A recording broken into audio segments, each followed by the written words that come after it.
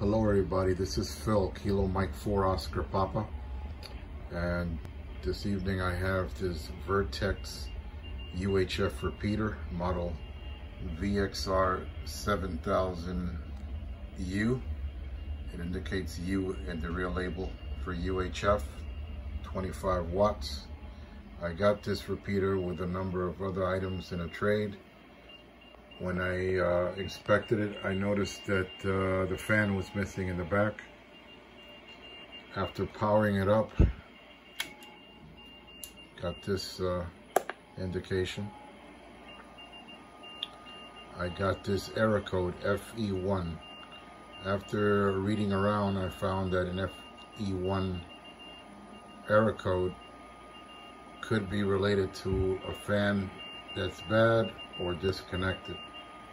As I mentioned, the fan was missing. I had a fan laying around here. You see it turning there. Connected it, but still got the, the FE1 uh, code. I imagine you can get that code from other failures, not sure. Pretty clean inside, top and bottom. No duplexers. The cables for the duplexes are intact inside. I have the bottom and top cover, and that's all that comes with it. So I think I'm gonna um, put it out there for for uh, sale, parts or repair.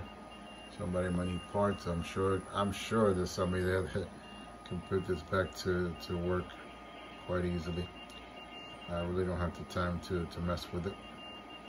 So um, I'll throw the fan in with it, although it's not the proper fan. That's a it's labeled Radio Shack it might not be the right amperage. I mean, I think it might need the right draw, the right load to, to make it clear. I don't know. So, possibility. But as is, Vertex Standard VXR 7000U 25 watt UHF repeater. 7.3.